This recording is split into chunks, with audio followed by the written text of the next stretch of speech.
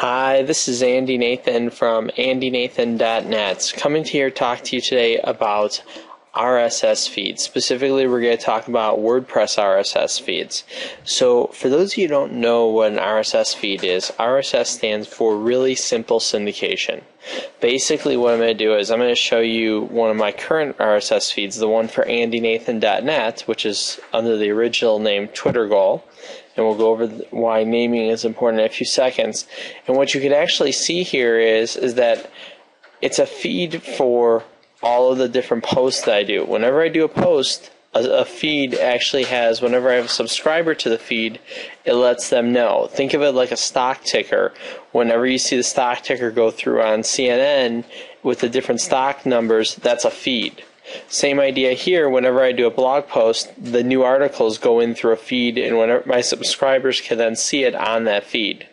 So the most popular feed is feedburner.com. And this is my feed for andynathan.net. Very simple. If you want to set up your own feed, all you need to do is I'm going to go back here. I want to burn a new feed. I'm actually going to create one for smartatthestart.com.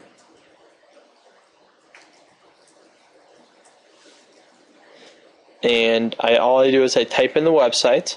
I'm going to type next. And the great thing about working with WordPress is they do have a feed already. However, I like feed burners a lot more. So as you can see, there's a few different feeds here. I'm going to just take the top feed here and I'm going to turn it into a feed burner feed. So I'm going to go next.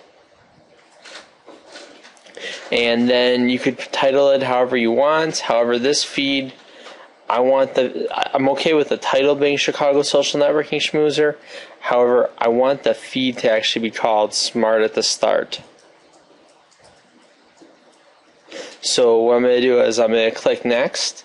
And by the way, you could change your feed at any time, the name, like Smart at the Start. However, whenever you change the name, the reason why I still have mine as Twitter goal, even though I really don't use that name anywhere else, is because if I changed it, all my subscribers would have to resubscribe to my my feed. So it's very important to get your feed done the right the first time.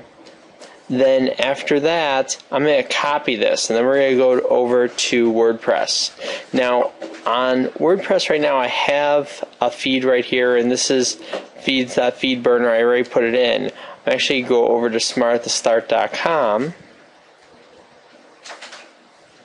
and need to log in.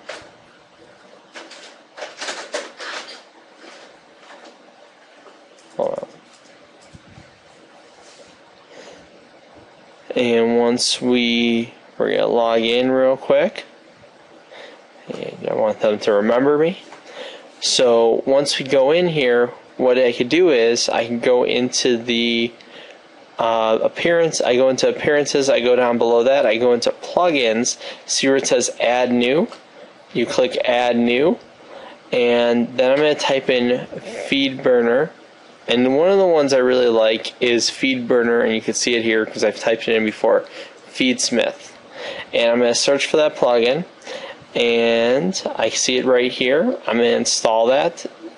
And the reason why FeedBurner FeedSmith is good because it's based off of FeedBurner's actual feed. It was created to use with FeedBurner. And I can go install plugin. Remember, this is for WordPress RSS feeds only. And then what I'm going to do is I scroll down here and in the settings tab, I'm going to see the FeedBurner FeedSmith after I activated it. And all I need to do is I can go copy and paste. Now, if I wanted to add one for the comments, I could do one for comments. We're not going to go through all these different feeds right now. Right now, I'm just going to click save, and that is it. So now I have a feed for smartatthestart.com, and that's all you need to do. Now, if you want to get a little fancy with this, one of the things you could do, and I'm going to show you this on andynathan.net, is that you could actually put in your feed on the front page so people can subscribe to it. Because once people can subscribe to your feed, they could actually follow what's going on, and whenever you have a new post, they'll be updated on Google. Google has a Google Reader, which is really useful with this. And as you can see, it's right here, and people can subscribe easily to it and they can keep up with what's going on in your blog. Like I said, it's a nice thing to have and I have 250 people who follow every single blog post that I do. That's a nice thing to have on a regular basis. Again, my name is Andy Nathan from andynathan.net. I hope you enjoyed the introduction to WordPress RSS feeds.